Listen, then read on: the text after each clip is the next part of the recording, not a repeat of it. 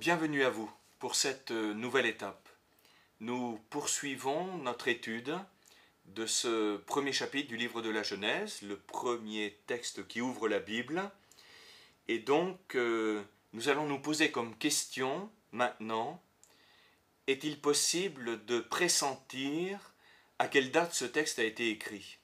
C'est important puisque la Bible prend naissance dans l'histoire d'un peuple particulier, le peuple d'Israël, et bien sûr, euh, ceux qui ont écrit tous ces textes l'ont fait dans le contexte historique qui est le leur, et il faut absolument en tenir compte pour euh, essayer de l'interpréter au mieux. Euh, nos sociétés évoluent, elles changent, et donc parfois le, le, contexte général, les mots que nous employons, eh bien ce sont peut-être les mêmes mots, mais nous les employons dans un autre contexte, avec un sens différent. Alors il faut bien faire attention à ne pas faire dire à, un auteur de la Bible euh, ce qu'il n'a pas voulu dire, donc essayer de se replonger le plus possible dans le contexte qui était le sien, ce qui demande un tout petit peu d'histoire. Mais rien de compliqué, et on va simplement essayer de bien faire attention à ce texte du premier chapitre du livre de la Genèse. En fait, euh, euh, cela commence exactement du chapitre 1er verset 1 jusqu'au chapitre 2 verset 4. C'est une unité et tout se tient ensemble. Alors quand on lit ce texte, eh bien on est euh, frappé par euh, une petite expression qui arrive très régulièrement au début de chaque journée, parfois même plusieurs fois au cours d'une journée, c'est Dieu dit. Par exemple, au verset 3, Dieu dit que la lumière soit, et la lumière fut. Et puis, euh, ce sera le premier jour, création de la lumière. Ensuite, on a Dieu dit qu'il y ait un firmament au milieu des eaux. Ce sera le deuxième jour. Ensuite, Dieu dit que les eaux qui sont sous le ciel s'amassent en une seule masse. Et puis ensuite, Dieu dit que la terre verdisse de verdure, etc. Eh bien, quand on compte tous ces dieux dits dans le texte, en tenant compte du verset 28 de ce chapitre premier, où après la création de l'homme, on a littéralement Dieu les bénit et Dieu leur dit. Donc une nouvelle fois, Dieu dit. Et ensuite, juste après, à nouveau, Dieu s'adresse à l'homme, Dieu dit, je vous donne toutes les herbes portant semence comme nourriture. Eh bien, si on compte toutes les fois où ces Dieu dit interviennent, on arrive au chiffre de 10. Et notre auteur a fait exprès de s'exprimer ainsi parce que pour le peuple d'Israël, eh bien, euh, le texte le plus important pour eux, ce sont ces dix paroles que Dieu donna un jour à Moïse au sommet du mont Sinaï, pendant l'épisode de l'Exode. Et ces dix paroles,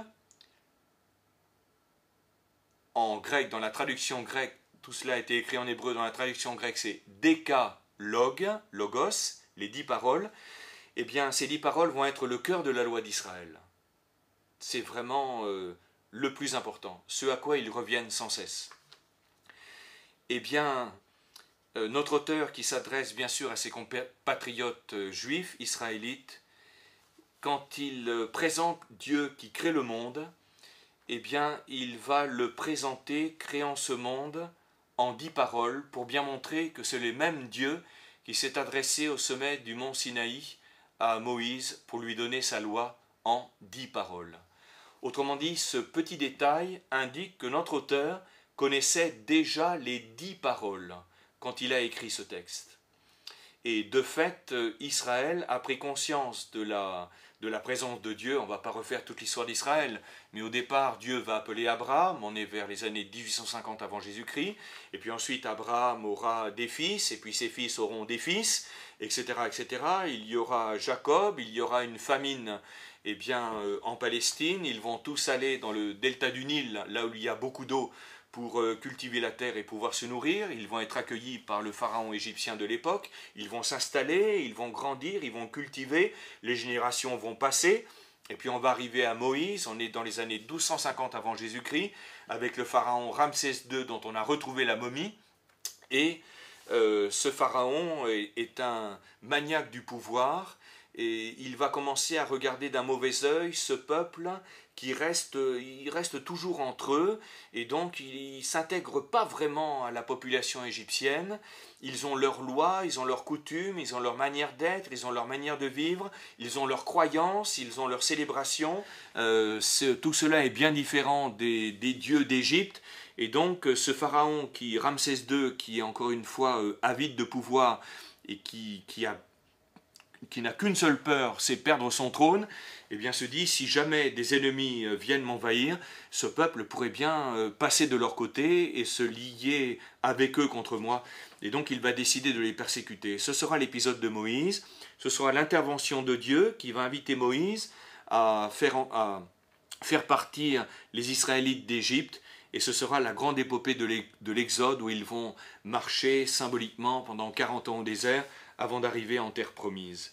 Eh bien, euh, quelque temps après avoir euh, quitté euh, l'Égypte, grosso modo une cinquantaine de jours, eh bien, Moïse sera au sommet du mont Sinaï et Dieu va se manifester à lui et il va lui donner ces dix paroles.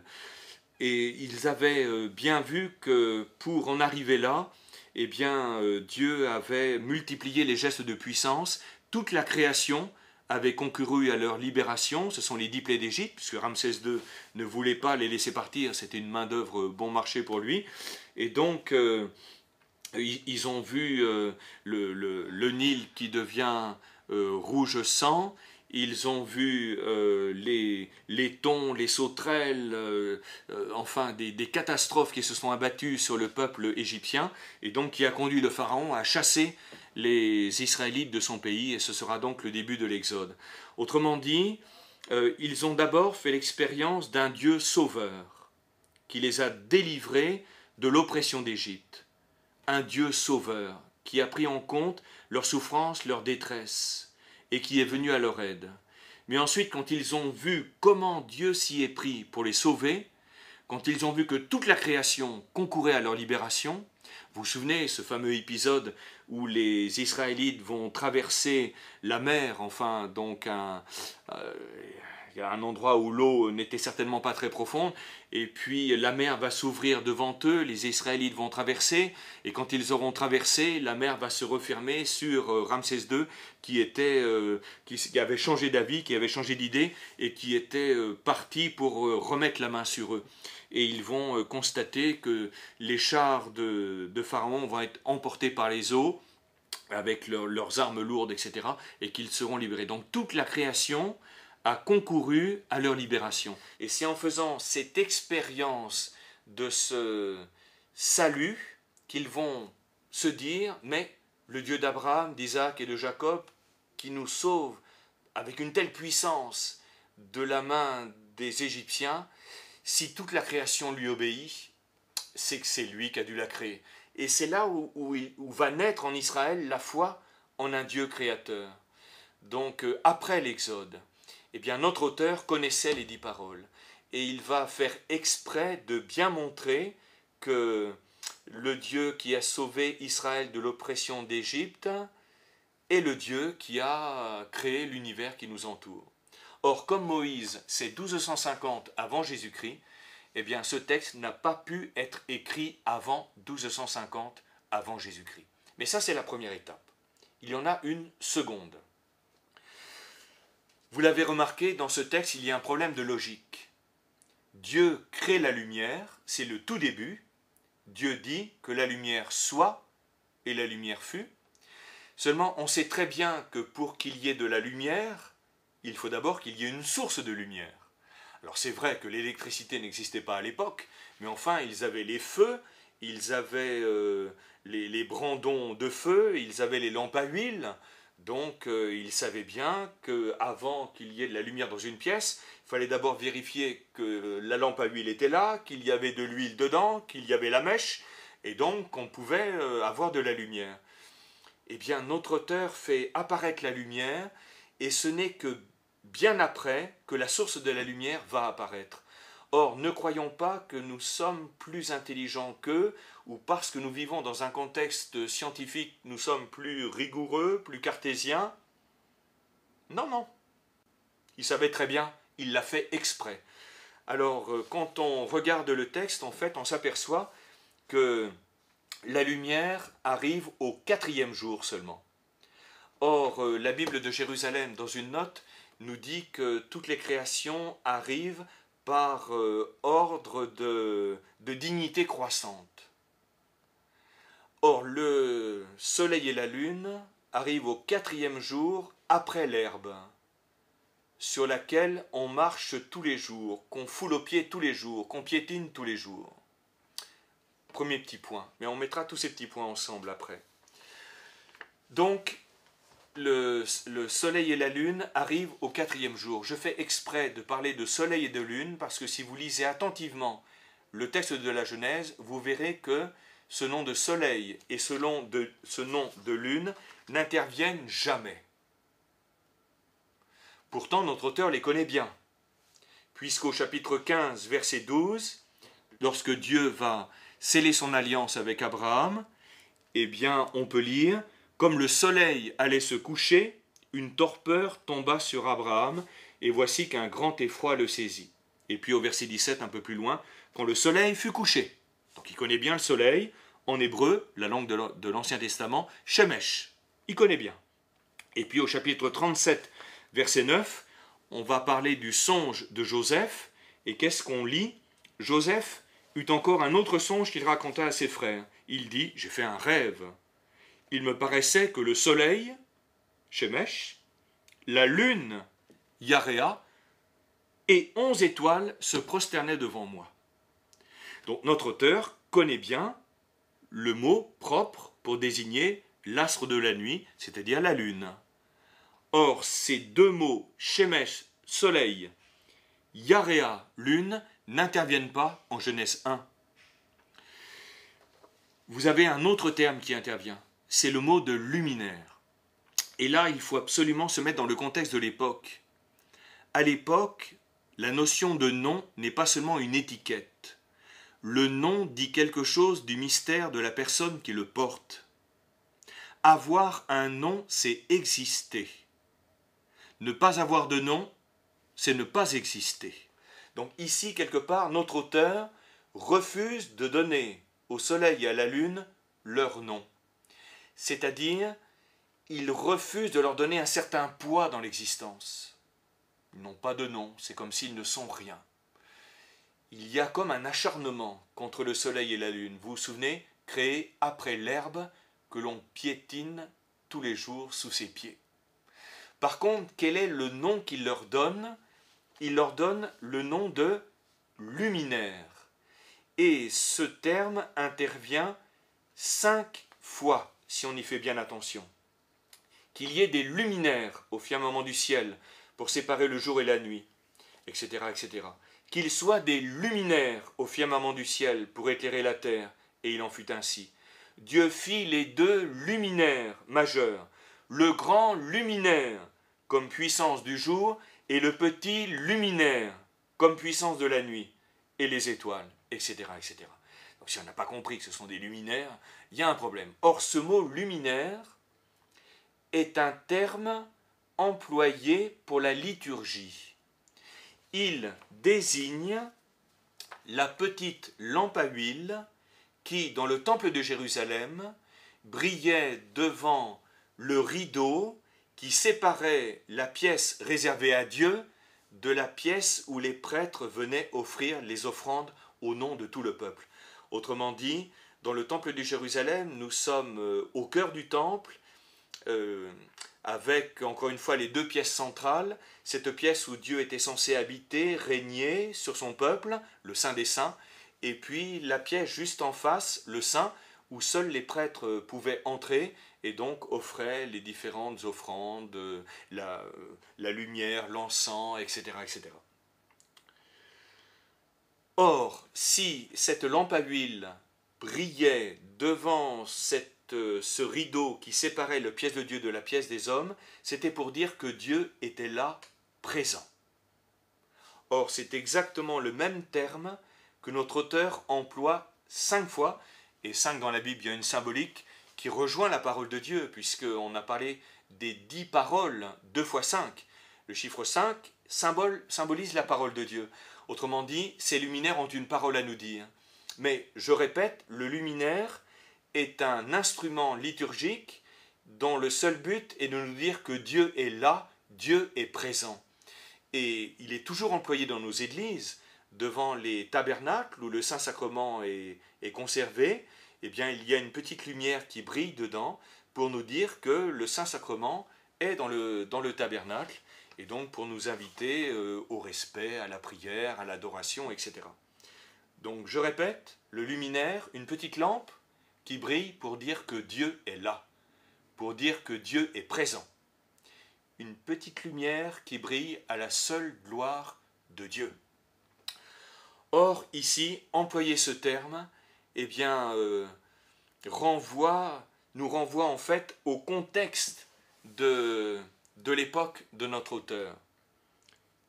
À l'époque, le soleil et la lune faisaient partie des divinités principales des Assyriens.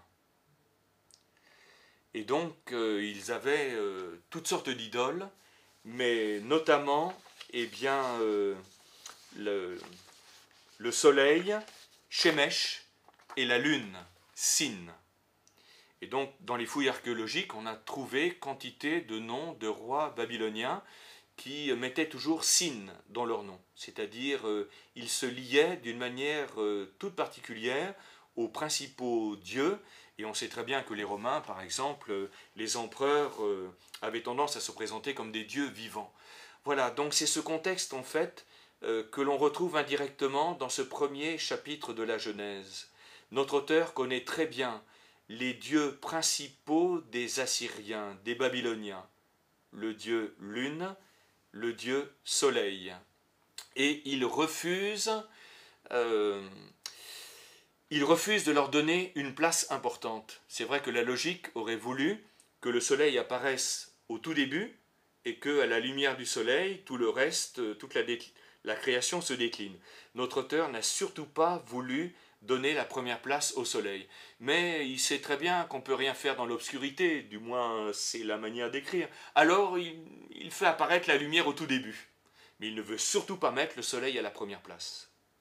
En plus, il refuse de lui donner un nom. C'est comme s'il il n'existait pas. Et même le nom qu'il lui donne, c'est donc luminaire, ce terme technique liturgique qui renvoie à la petite lumière qui brille pour dire que Dieu est présent eh on perçoit à travers cette manière de faire que notre auteur a écrit dans un contexte de polémique contre les dieux des Assyriens et des Babyloniens. Et il se trouve que dans l'histoire d'Israël, euh, une date est très importante, c'est 587 avant Jésus-Christ, Nabuchodonosor, roi de Babylone, envahit la Palestine, fait le siège de Jérusalem, et euh, après euh, des situations atroces, puisqu'il ne manquait pas d'eau. Ils avaient creusé un puits jusqu'au bas de la colline, le tunnel de Sédécias, pour essayer de trouver de l'eau, mais il n'y avait plus de nourriture. Donc on mangeait les cadavres. Il y a eu un siège. C'était vraiment euh, l'horreur la plus totale. Donc euh, à la fin, Nabucodonosor prend la ville et puis il va totalement la détruire il va euh, tuer les fils de Sédécias sous ses yeux pour bien lui montrer qu'il n'y aura plus de descendance et qu'il n'y aura plus de royauté, et il va déporter des, milliers et des milliers d'Israélites euh, à Babylone, à 900 km à l'est, et puis ces, déportés vont vivre là-bas dans, une détresse euh, que l'on imagine, d'autant plus que Nabucodonosor va détruire aussi le temple de Jérusalem, il n'y a plus de maison de Dieu, il n'y a plus d'endroit où lui présenter ses offrandes, nos offrandes et nos prières. Donc c'est vraiment une période très très difficile. ils n'auront qu'un seul désir, c'est pouvoir revenir au pays. Or, cela se, se réalisera 50 ans après leur euh, déportation, à peu près, lorsque Cyrus, le roi de Perse, l'actuel Iran, va envahir euh, la Babylonie, et il va permettre aux descendants des exilés de revenir au pays. Les descendants, puisqu'à l'époque on vivait une quarantaine d'années. Autrement dit, sur 50 ans, il y a deux, trois générations qui se sont succédées. Et ces descendants vont retourner au pays et ils vont euh, tout reconstruire. Eh bien, euh, ce texte de Genèse 1, tel que nous l'avons sous les yeux, il a été rédigé à cette période de reconstruction nationale. Et donc, euh, euh, ce retour d'exil, on est dans les années 500, euh, 520 avant Jésus-Christ. Soyons précis, c'est 538 avant Jésus-Christ. Eh bien, Cyrus, roi de Perse, permet aux exilés de Jérusalem, aux exilés, aux descendants des exilés, de revenir à Jérusalem. Et voilà, donc notre texte a été écrit à cette période. Et voyez que c'est en, regardant d'une manière simplement, en faisant attention aux éléments que l'on peut y trouver, que l'on peut arriver à ces conclusions. Autrement dit, il a été écrit dans les années 500 avant Jésus-Christ. Et si vous le voulez, la prochaine fois, eh bien, nous regarderons dans quel but il a été écrit, dans quel contexte particulier, ce qui nous permettra de faire une petite étape supplémentaire. Merci.